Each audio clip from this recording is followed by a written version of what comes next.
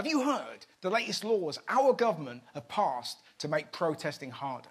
The police, crime, sentencing and courts bill is wide ranging. Police would be able to put more conditions on protests, including setting noise and time limits. Failure to comply could result in a fine up to £2,500. Basically, the government have changed the law, so now if you protest, you can't make a noise. How does that work? what do we want? It's not. When you're angry, you make noise. When they threw Edward Colston in the Bristol Harbour, they didn't put toilet paper down to muffle the sound. like you might have heard. if they ban noise, all we'll be left with is placards, and they could be a little bit tame. also, why are they using police to monitor sound levels? They don't have great ears.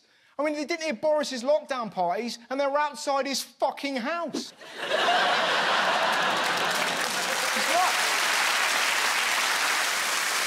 so why did they pass the law? Well, mainly it was to shut this guy up.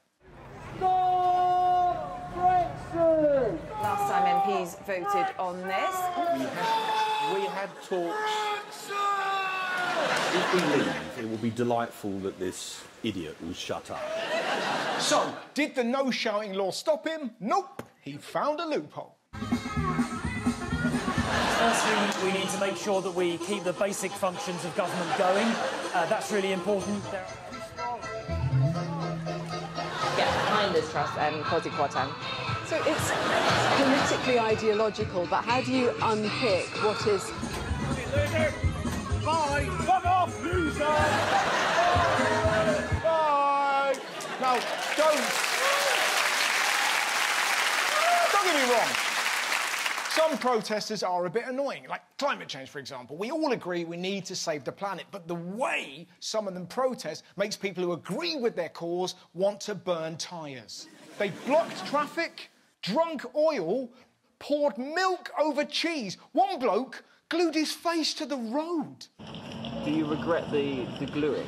Are you... Um, yeah, it's, it's not one of my better moves.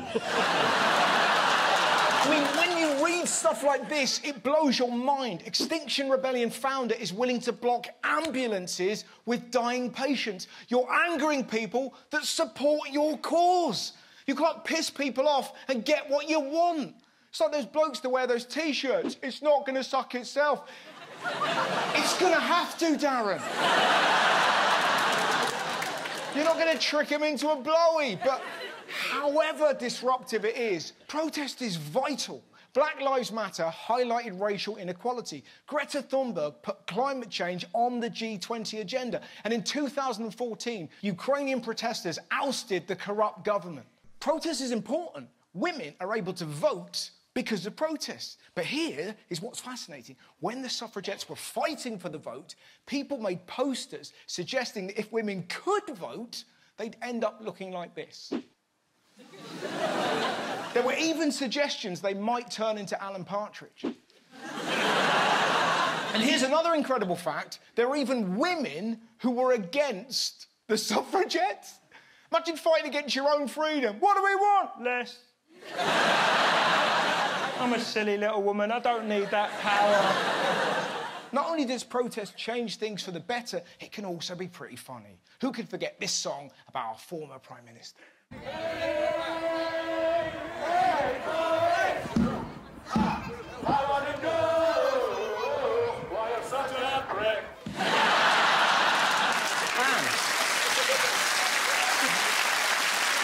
When a law was announced to crack down on pornography, how did people protest?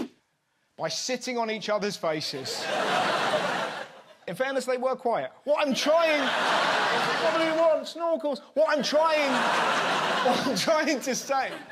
Some protests are amazing, others not so much. Sometimes they're funny, sometimes they're offensive, but all of them matter. And this is why.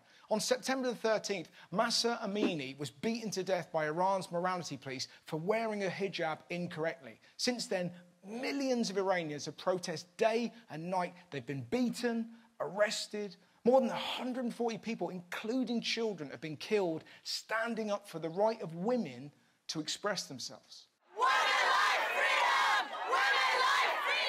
Mahsa's tragic death is becoming a turning point for Iranian women. Be bold, brave, uncompromising.